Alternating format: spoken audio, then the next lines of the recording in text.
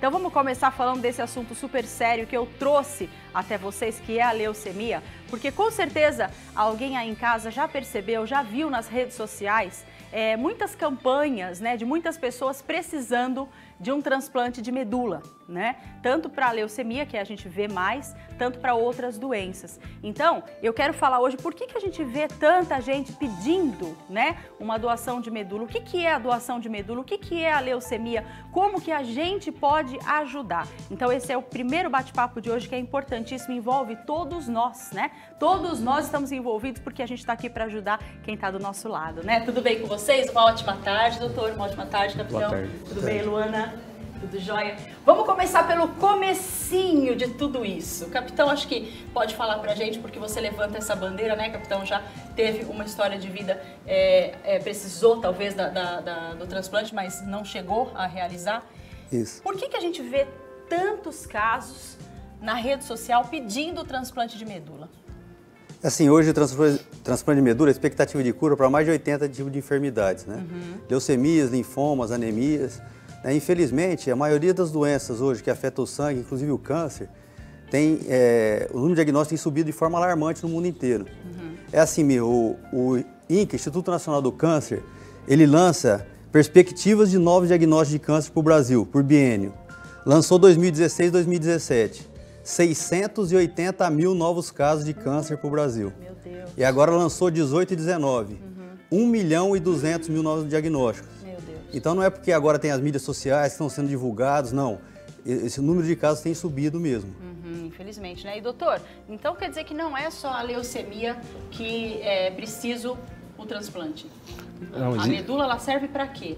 É, a medula ela é utilizada para produzir o nosso sangue, é como se fosse a nossa fábrica do sangue, uhum. tá? Então, quando a gente encontra alguma doença que existe algum problema nessa fábrica, o transplante ele é utilizado para que a gente realize a troca desse sangue que é considerado doente por um sangue novo, uhum. a fim de que a gente pro, é, produza sangue é, saudável novamente. Então, por isso que a gente precisa do próximo para isso, né? E Luana, você está aqui para contar é, sobre a tua vida, sobre a tua história, né? Você faz parte dessas pessoas que está aguardando é, uma medula, é isso? Isso. Eu estou na luta, né, à procura de um doador. Uhum. É, como tem outras pessoas também precisando, né, e eu estou aqui lutando por mim e por outras pessoas também que estão uhum. precisando. Quando que você foi diagnosticada com leucemia? É, faz quatro anos já. Quatro anos? Isso. Quantas você tem? Eu tenho 32. 32 anos. Linda, linda, Obrigada. linda. E você descobriu há quatro anos a leucemia. Como Isso. é que você descobriu, Iluana? Então, por causa de mancha roxas que começou a aparecer no meu corpo. Ah. E aí eu fui na. Várias manchas, em vários várias, lugares. Várias. Você parecia não tinha batido uma... em lugar nenhum não, e aparecia não. aquela mancha. É, parecia uma e sumia, aparecia outra. Mas sei lá, no começo eu achava que eu poderia ter batido em algum lugar, mas não ter percebido, entendeu? Uhum. Mas aí foi parecendo muitas, entendeu? Tipo assim, sumia uma, aparecia, Parecia outra. outra. E aí eu fui, eu moro em Monte Aprazível, né? É, eu fui no, na Santa Casa da, da minha cidade. Pra ver as manchas. Não, eu, mais não, eu fui porque eu estava com mal-estar, Ah, nada tá. a ver da mancha. Aí eu cheguei no hospital, minha mãe que comentou com o médico É. das manchas roxas. Falou, olha, doutor, já faz já uns três meses, tá aparecendo umas manchas no corpo dela. Aí ele falou assim, mas você bateu? Eu falei, não. Aí ele Uhum. falou, então, mas tinha que ter ido fazer um hemograma, né?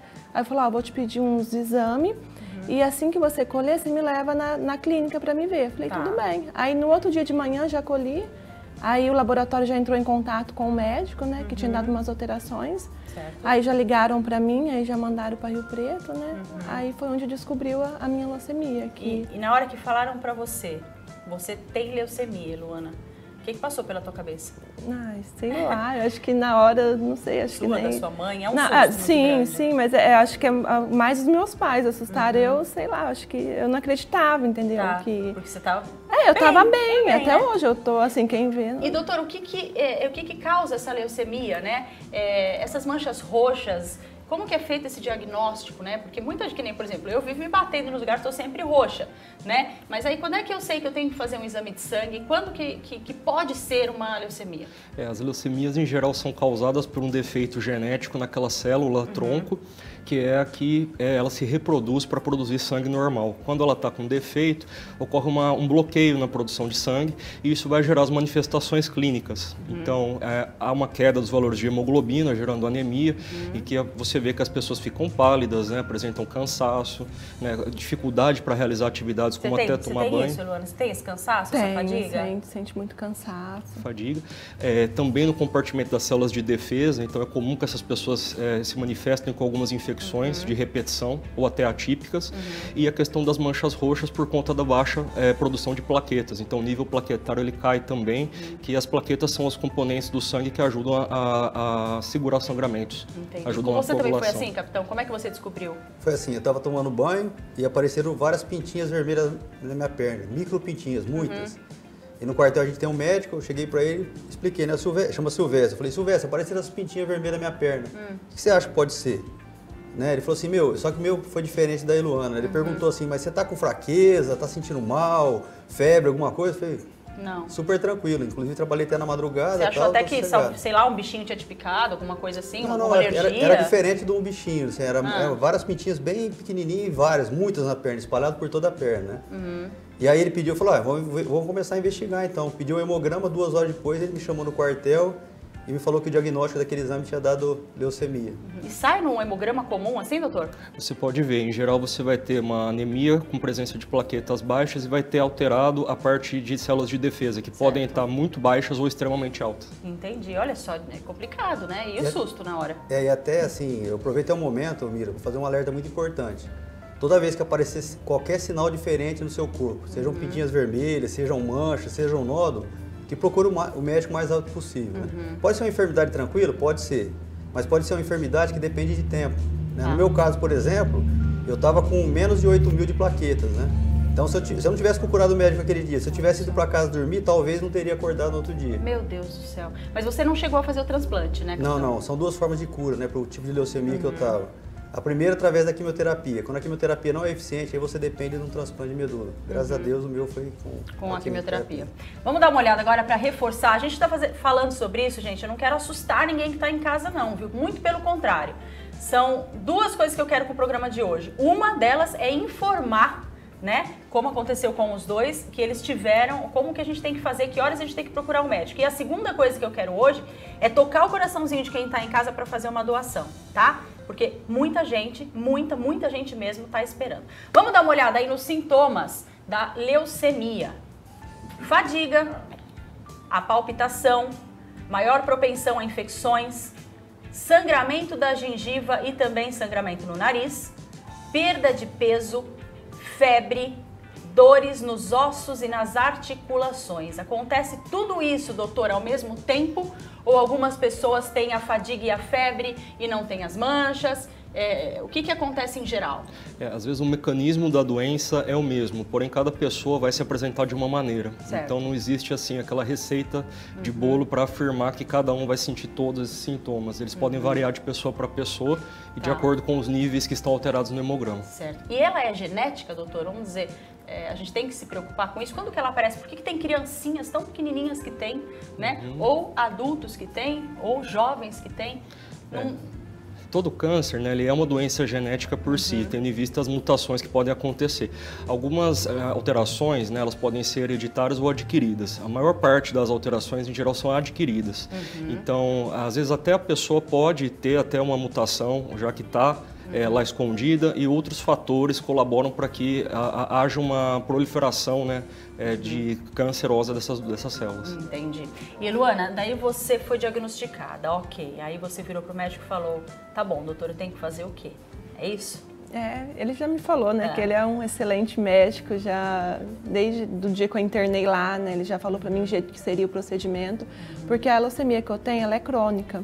Então, assim, tem pessoas que levam uma vida normal fazendo quimio via oral. Tá. É, então, assim, no começo foi de boa, fiz o tratamento, entendeu? Fazendo as quimio, tudo. Uhum. E de um tempo para cá que aí eu já não tive resultados com o medicamento. Entendi. Por isso que você está aguardando para aguardando fazer, fazer o transplante. E daí quando você começou a fazer as químias, você viu alguma melhora? Você sentiu no princípio, poxa, como o capitão, né, que conseguiu, graças a Deus, se curar com as químios, você também tinha essa esperança? E quando que você viu que não ia ser assim?